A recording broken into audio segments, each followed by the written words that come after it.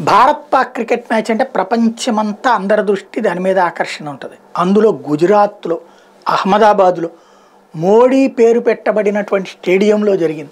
స్వయంగా కేంద్ర హోంమంత్రి అమిత్ షా పార్టిసిపేట్ చేశారు. అక్కడ విజయమేమో వన్ సైడెడ్ విక్టరీ అయింది. వరుసబెట్టి వికెట్లు తీసి మన బౌలర్లు అద్భుతమైన సక్సెస్ చేసి పెడితే రెండు వందల లోపే ఆవు చేస్తే ఆ పైన ముప్పై ఓవర్లలోనే గెలిచేసి రోహిత్ సేన అద్భుతమైన శక్తిని చూపెట్టింది. ఈ సందర్భంగా అక్కడ ప్రొజెక్ట్ చేసిన ప్రదర్శించినటువంటి పోస్టర్లో రెండు. ఒకటి ఒకళ్ళు పవన్ కళ్యాణ్ది ఆ పక్కన ఉన్న బ్యారికేడ్కి ఫోటో పెట్టారు.